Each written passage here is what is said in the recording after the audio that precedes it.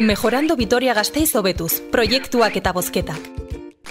Berrikuspen fase amaitu ondoren, herritarrek aurkeztutako eunda irurogeita mar proiektutatik, irurogei bideragarritzat balio etxi dira, eta beraz, bozkatu egingo dira.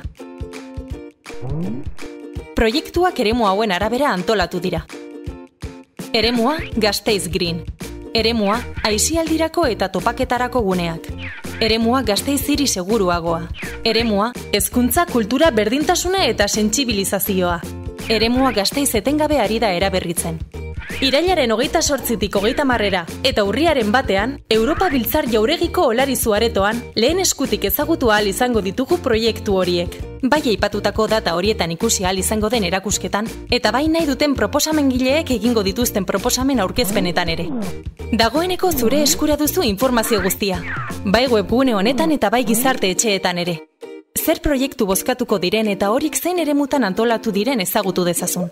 Bozketa egiteko bi modu daude. Udalaren webgunearen bitartez, TMC HUT gaituaren bidez, edo ziurtagiri digitaltun txartelaren bidez. Eta presentzialki, herritarrei laguntzeko bulegoetan jatorrizko identifikazio agiriaren bidez nortasuna egiaztatuz.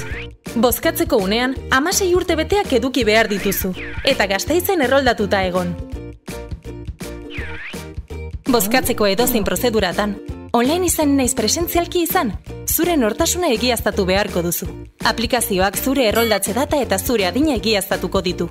Aurkeztutako irurogei proiektuetatik hiru aukeratu beharko dituzu. Aplikazioak ez du bozketa ontzat emango baldin eta proiektu bat edo bi bakarrik aukeratzen badituzu. Online bidez egitea erabaki baduzu, aplikazioak gidatuko zaitu eta adieraziko dizu zein proiektu aukeratu duzun dagoeneko, eta akatsaren berri emango dizu, baldin eta aurreko puntuko baldintzak bete ez badituzu. Hiru proiektu aukeratu ondoren, horik zen diren gogoraraziko dizu, eta galdetuko dizu, ea bozketa aldatu nahi duzun, edo ados bazaude, bozkatzeari ekin nahi diozun. Kontuan izan, bozketa berritzi ondoren ezingo dela aldatu. Bide presentziala aukeratzen baduzu, esku horriaren erdialdean edo herritarren arretarako bulegoan, eska dezakezun horri batean topatuko duzun zerrenda batean, zein proiekturen alde bozkatu nahi duzun idatzi behar duzu. Isa batez adieraziz. Gogora ezazu. Irurogei proiektuetatik, iru soilik, ez gehiago eta ez gutxiago.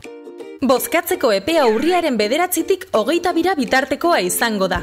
Goizeko sortzietatik, gaueko hogeita iru berrogeita emeritzira online. Eta goizeko bederatzi terdietatik, gaueko sortzietara berriz, herriterrei laguntzeko bulegoetan. Bozketen emaitzak jasondoren, proiektuak zein urrenkeratan gelditu diren jakinaraziko da. Eta xedatutako aurrekontuaren arabera, bat koma bost milioi euro 2000 amazortzi urterako, eta beste bat koma bost milioi euro 2000 emeretzirako. Proposamen bozkatuenei izendatuko zaie, ura aitu arte.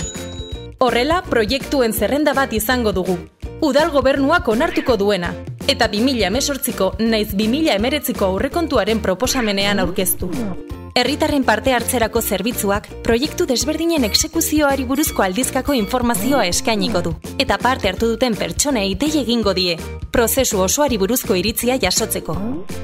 Informazio gehiago irubebikoitz.vitoriagidoiagasteiz.org Vitoria Gasteiz, zure baitakoa.